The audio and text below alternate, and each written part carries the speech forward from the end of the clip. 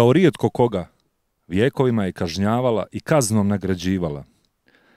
Usađivala bol koji se voli i svojoj djeci za vijek vjekova uklesala gen grubih emotivaca i stamenih savitljivaca, što će radi roda, bližnjega svoga i nje same ponirati, sami probijati škrape, ponore, ponikve i špilje, da bi izronili još snažniji. Hercegovina. Ovaj divan pogled na nju dugujemo našoj domovini, majci Crnoj Gori i ovoj prelijepoj crkvi, crkvi na valu, koja je takođe kroz vjekove bila i ostala jedna od spona ljudi sa ove i one strane granice. A mi pričamo o dvije spone, dvije kičme koje su nažalost slomljene, rijeci i pruzi.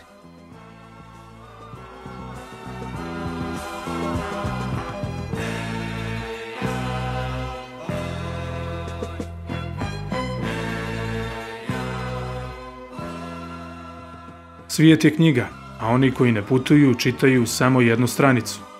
Putovanje je svakodnevno listanje tek otvorene knjige, a koliko je samo knjiga na ovom zemaljskom šaru sa svojim tematskim granicama. Poglavlja se nižu dok prolazimo predviđenu kilometražu ka prvom dijelu knjige, gdje se dešava vjekovni dijalog crnogorske i hercegovačke granice, neprekinuto u svom ambijentalnom, kulturološkom i istorijskom zaleđu. Modrina i zeleni ocijaj Bilećkog jezera u svojim njedrima krije neobičnu pripovijest o rijeci Trebišnjici.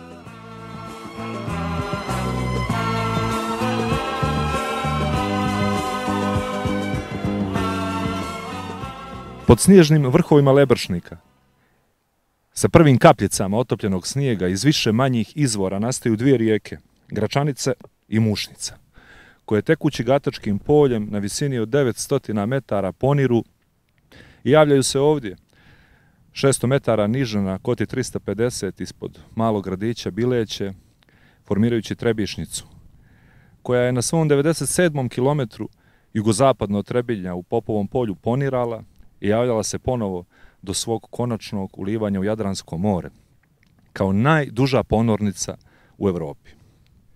Prolazeći kroz mnoge pećine i ponore, Trebišnica ponovo izbija u Dubrovačkoj rijeci i od izvorišta do ušća teče u dužini od 30 metara kao rijeka Ombla, najkraća rijeka na svijetu.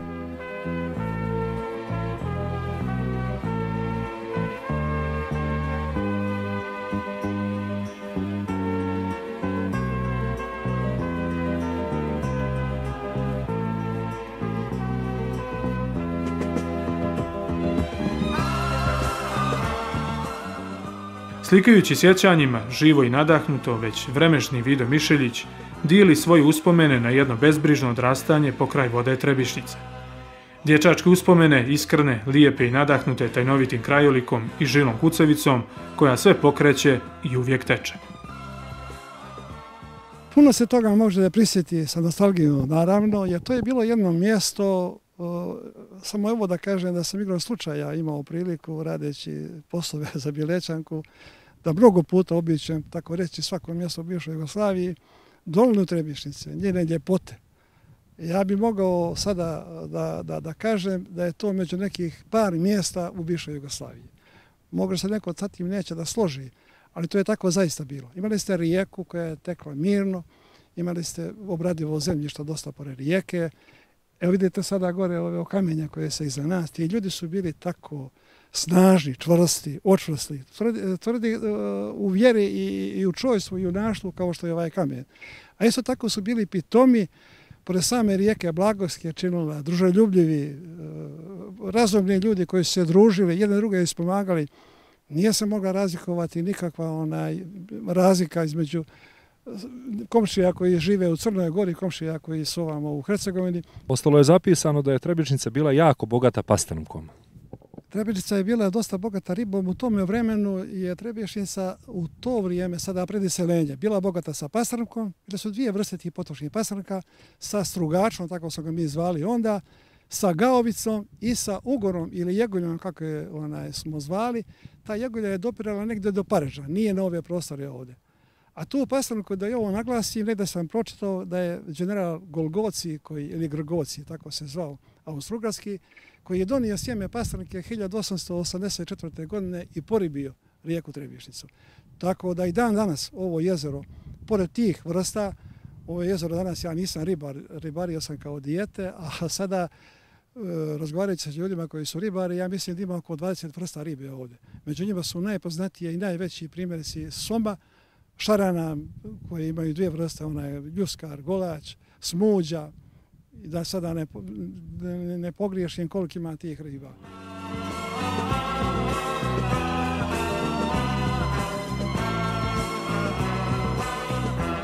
Prirodu je teško ukrotiti, njene čudi još teže prepoznati. Iako je ljudska ruka samo površno zavladala ovim krševitim predilom, gdje se čini da se modrine nebeske i vodene spajaju baš na toj granici.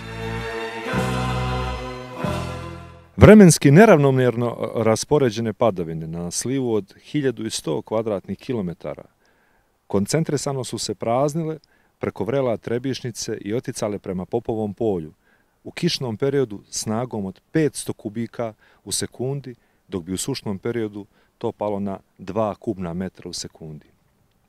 Ponori kapaciteta 300 kubnih metara nijesu mogli prihvatiti sve vode Trebišnice – pa se dio voda prelivao u Popovo polje i Popovo polje bi za samo par dana postalo jezero dugačko 40 km, duboko skoro pa 40 metara sa kapacitetom od milijardu kubnih metara vode. Stanovništvo koje je živjelo uz jezero koje se pojavljuje i nestaje, koje bi u prosjeku bilo 250 dana u godini pod vodom, povlačenjem voda na proljeće pristupalo bi sjetvi.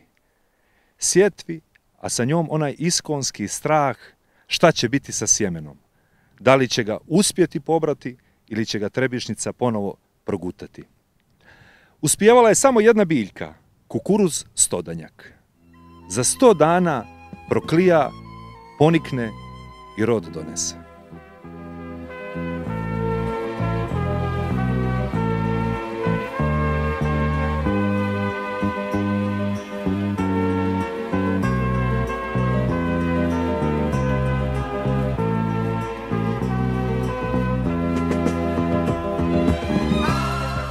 Hidroelektrana Trebinje je pribranska hidroelektrana koja koristi vode akumulacijonog bazena Bileća. Akumulacija Bileća omogućava godišnje izravnavanje proticaja rijeke Trebišnice. Brana Grančarevo visine 123 metra, dužine 439 metara, nalazi se na 18 km nizvodno od izvora rijeke, a 17 km uzvodno od Trebinje. Čovjek je od vajkada razmišljao kako da ukroti vode Trebišnice i glad za energijom tjera ga da napravi prvu studiju već 1954. godine o višenamjenskom iskorišćavanju potencijala Trebišnice. Gradnja hidrocentrale i akumulacije Grančarevo, Brane, počinje negdje 1959. godine. I prilikom gradnje rađeni su obimni inekcioni radovi, pravljena je inekciona zavjesa površine od 64.000 kvadratnih metara, što je tri put veća brana nego ova koju vidimo iza nas.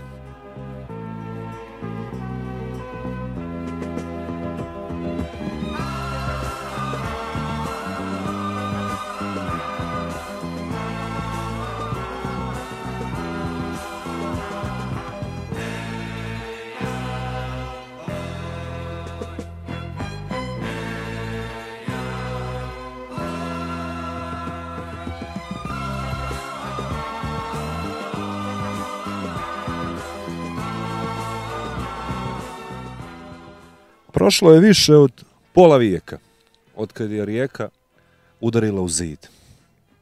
Zbunjeno se osvrćući oko sebe, ugledala je na svojim obalama grupice djece, žena, učitelja, sveštenika, pastira, mašinovođa, tada već bivših skretničara pruge, kako gledaju posljednji put u svoje domove, u svoja sela, kako gledaju posljednji put u svoja rodna ognjišta. Žitelji Panika, Čepelice, Miruša, Oraha, Kosjerava napustili su 3000 hektara plodne zemlje Njih 280 porodica raseljeno je. Zelena dolina Trebišnjice neumoljivo je mijenjala izgled tih dana 1968. godine. Izmještene su dva manastira, potopljene su osam crkvi, potopljena je bolnica koju je osnovao doktor Niko Miljanić. Rijeka je na kraju potopila i samu sebe. I cijelo mjesto utonulo je u vodeni san kojim spava i dan danas.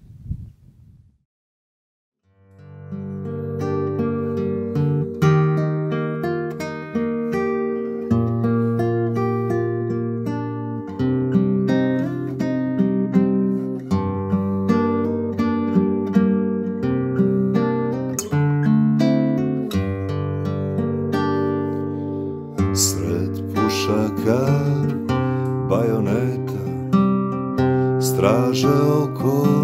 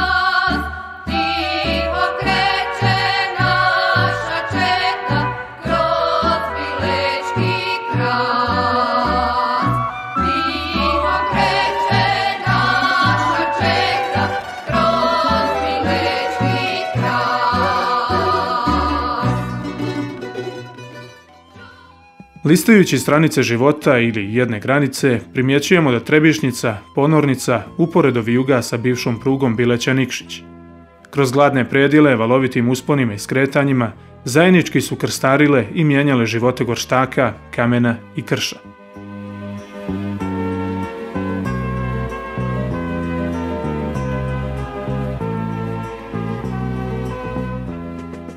Na okupiranom a kasnije i anektiranom prostoru. Austro-Ugarska, prvenstveno iz strateških razloga radi boljeg snadbijevanja trupa i učušćivanja na vlasti, gradi prugu Dubrovnik Čapljina sa odvojcima, Uskopolje Zelenika i Hum Trebinje. I jula 1901. godine prvi voz stiže na željezničku stanicu u Trebinje. Ostalo je zapisano da je najveći rezervoar za vodu u Evropi izrađen baš tada u Hutovu. U skladu sa talasanjima istorijskih prilika, Hercegovinom su pa i dalje ka drugim dijelovima Jugoslavije kompozicije lokomotiva stizale na odredište. Ipak, tu odmah preko granice, za Crnu Goru i Nikšić, mašta je sebi puštala na volju.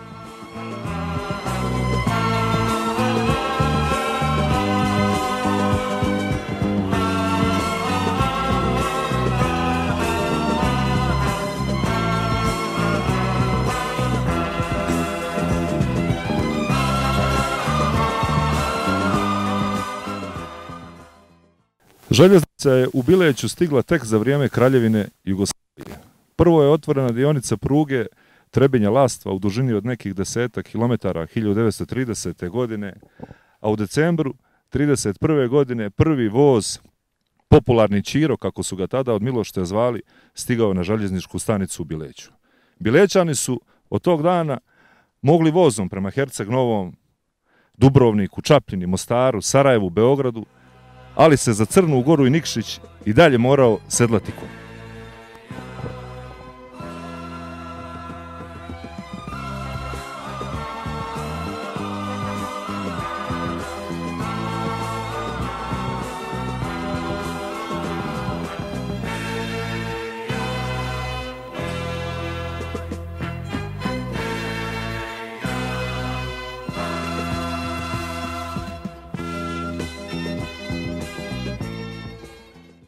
Pruga Nikšić Bileća počela da se trasira još 1925. godine.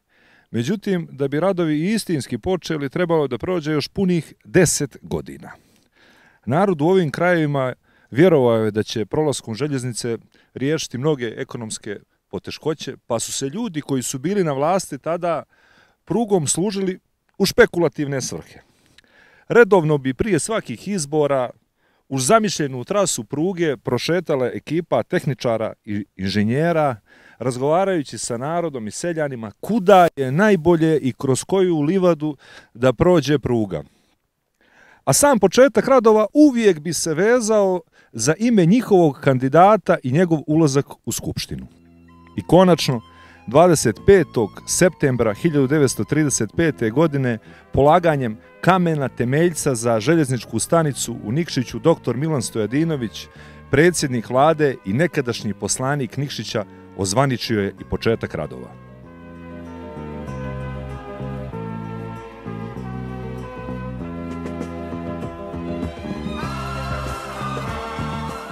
Petrovdan 38. godine bio je posebno svečan za građane Nikšića. Umjesto konjske zaprege iz Bileće do Nikšića i obratno, konačno su upregnute mnogo jače konjske snage.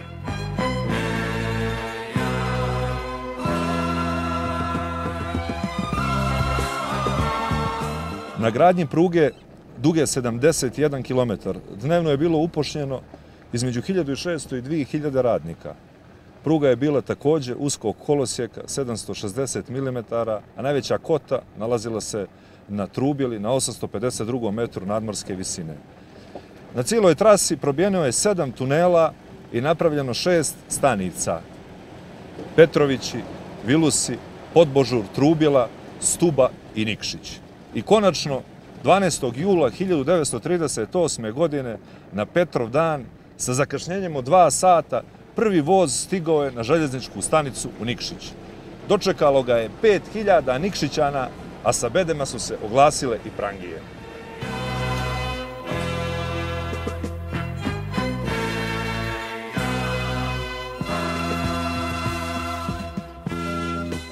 Volja je bilo putovati, pa još željeznicom. Sela i stanice imali su svoje priče kao dio jedne obimnije novele, čiji su glavni akteri završili u raznim svjetskim odredištima, ovoga puta mnogo daljim, gdje konj osedlan jednostavno nije bio dovoljan.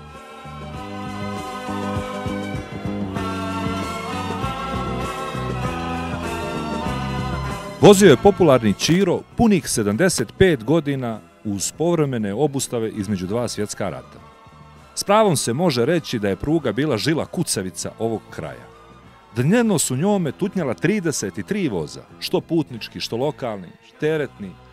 Vozom se odlazilo u svijet trbuhom za kruhom. Seljaci su svoje proizvode mogli da ponude na pijacama u Nikšiću, Mostaru, Čapljini, Dubrovniku, Herceg Novom. Nerijetki su bili susreti da se u vozu sretnu i svatovi, a kroz otvoreni prozor da se zaviori barjak. S pravom se govorilo da Čiro nikad nikog nije ostavio. Za svakog se našlo mjesto. Bilo je i tužnih momenata kada su ljudi koji su živjeli uz prugu i ove krajeve tim istim Čirom odvoženi u logore iz kojih se skoro pa nikada nijesu vratili.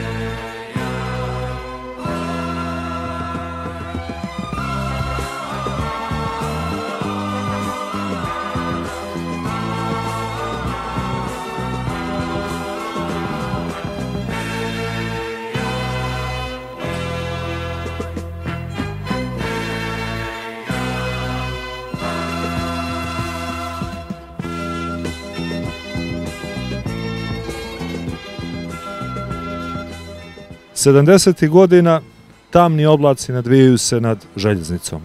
I 26. maja 1976. godine vlasti su ukinule prugu. Pravdali su to da je otvaranjem pruge Beograd-Bar željeznica prema Bileći i Trebinju nerentabilna, pogotovo zato što je uskok kolosijeka. Garniture vozova prodate su u Portugalu, Mozambiku, neke se i dan danas voze u Peru. Dio vozova završio je u Austriji i Švajcarskog i danas je i tamo uska pruga rentabilna. A, baš iz ovog gradića Bileće gdje smo prije snimali potiče jedan od velikih hollywoodskih glumaca Karl Malden ili ti Mladen Sekulović koji je 1951. godine dobio Oscara za ulogu u filmu Tramvaj zvani Želja. Nama ostaje priča i žal za Čirom.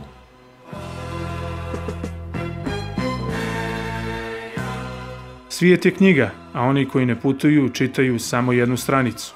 Upijajući bogate redove ove knjige naziva Crna Gora i Hercegovina, sve je samo ne granica. Ovo je jedna stranica u mnoštvu zajedničkih uspomena, ljubavi, žali, tuga, koje su iste i sa ove i one bande, uvezana riječnim tokom i pragovima željeznice.